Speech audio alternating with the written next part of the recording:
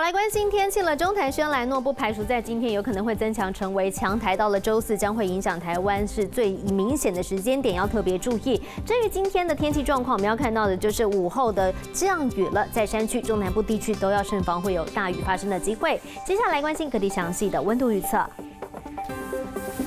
首先，我们先来看到在北部地区，金龙、台北是晴到多云，台北会有短暂降雨，高温三十五度。继续看到在桃园会有降雨，新竹苗栗是多云的天气，桃园高温三十五度。好，台中跟南投要防范午后雨势，彰化多云，台中高温三十四度。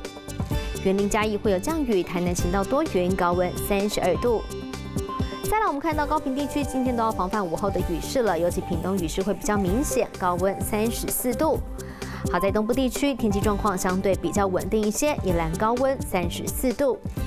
再来，我们看到外岛地区了，在马祖跟澎湖都是多云到晴，金门会有短暂降雨，高温三十三度。